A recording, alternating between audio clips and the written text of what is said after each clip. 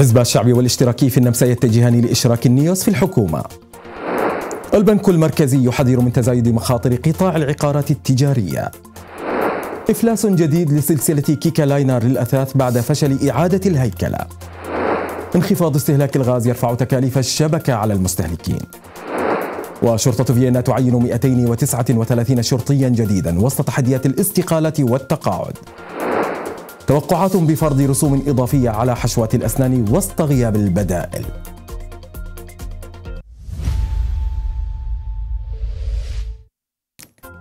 أسعد الله أوقاتكم إلى حضراتكم نشرتنا وفيها. عقد حزب الشعب والاشتراكي النمساويان جولة محادثات استكشافية أخيرة. اتفقا فيها على بدء مفاوضات مع حزب نيوس بهدف تشكيل ائتلاف حكومي ثلاثي حيث أعلن المستشار كارني هامر عن هذا التوجه الثلاثاء. ورغم عدم تأكيده رسميا كون نيوس الشريك الثالث إلا أن ذلك يبدو خيارا مرجحا. ويسعى الاشتراكي من جانبه للحفاظ على خيار التحالف مع حزب الخضر مفتوحا حيث يحتاج الحزبان التقليديان إلى شريك ثالث لضمان الأغلبية بينما تتطلع زعيمة نيوس بيات مين رايسنجر إلى أجندة إصلاحية واضحة تشمل حقوق الأطفال والتعليم وتكافؤ الفرص الاقتصادية كشرط للدخول في التحالف عبر البنك المركزي النمساوي عن قلقه من تزايد المخاطر في قطاع العقارات التجارية وفرض متطلبات إضافية على البنوك لتخصيص احتياطي رأس المال بدءا من منتصف العام المقبل.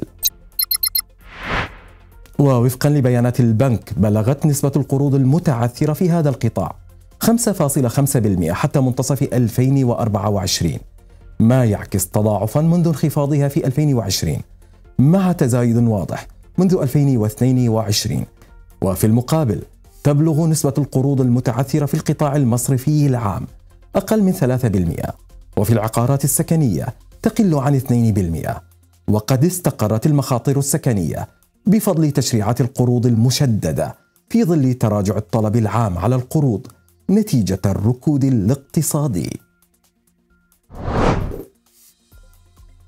أعلنت سلسلة متاجر الأثاث النمساوية كيكا لاينر إفلاسها مجددا بعد إفلاسها السابق في يونيو 2023 تحت ملكية جديدة. وأوضحت الشركة أن فشل إعادة الهيكلة جاء نتيجة إجراءات الإفلاس الخاصة بالشركة وإفلاس مجموعة سيجنا واستمرار الركود الاقتصادي وارتفاع التكاليف منذ الاستحواذ. وأفادت بأن مدير الإفلاس سيتولى الآن إدارة القرارات حول مستقبل الشركة. هذا وقد خفضت كيكا لاينر عدد موظفيها من 1900 إلى 1400 خلال العام في محاولة للاستمرار لكنها بقيت تعاني خسائر خلال السنة المالية الحالية رغم التغييرات العديدة في الملكية وتقلص عدد, عدد فروعها وموظفيها خلال العقد الأخير. شهدت النمسا أيضا انخفاضا في استهلاك الغاز ما أدى إلى زيادة تكاليف الغاز للمستهلكين الباقين حيث توزع تكاليف الشبكة على عدد أقل من المستهلكين. ووفقا لشركة الطاقة سيرتفع العبء المالي بمقدار 60 يورو سنويا لكل متعامل. وأكدت وزيرة المناخ ليونور جيفسلر على أن تقليص شبكة الغاز سيخفض التكاليف مشيرة إلى أن هيئة E-Control ستتولى التنظيم مع ضرورة تعديل قانون الغاز لضمان عدم تحميل التكاليف على قلة من المستهلكين. وفي إطار التحول للطاقة النظيفة غير ما يقارب 72 ألفا من أصحاب المنازل أنظمة التدفئة مستفيدين من دعم حكومي لتحفيز الانتقال التدريجي بعيدا عن الغاز. وأدت شرطة فيينا اليمين ل 239 طالب شرطة جديد و86 ضابطا أنهوا تدريبهم بنجاح أمام قصر شومبرون حيث تمثل هذه التعيينات إضافة مهمة لدعم الشرطة في ظل تزايد عدد السكان في فيينا وارتفاع الضغط على الخدمات الأمنية.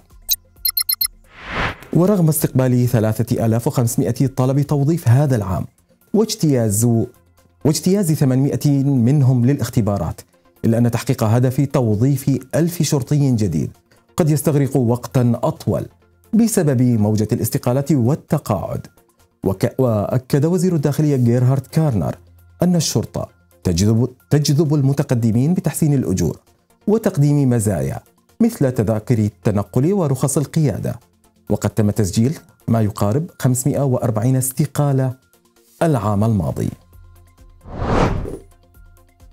وإلى مواضيع الطب حيث أصبحت تكاليف حشوات الأسنان مهددة بالتحول إلى خدمة خاصة مدفوعة بدءا من الأول من يناير بعد حظر حشوات الاملجم التي تحتوي على الزئبق لمخاطرها المحتملة.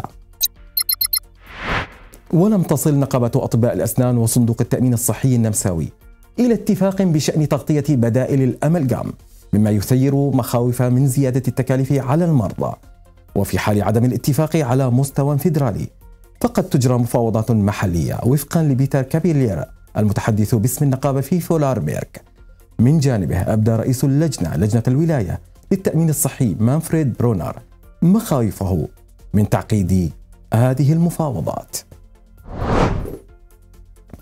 كانت هذه نشرتنا لهذا اليوم ومشاهدينا أذكركم بضرورة تحميل تطبيق انفوغرات على هواتفكم.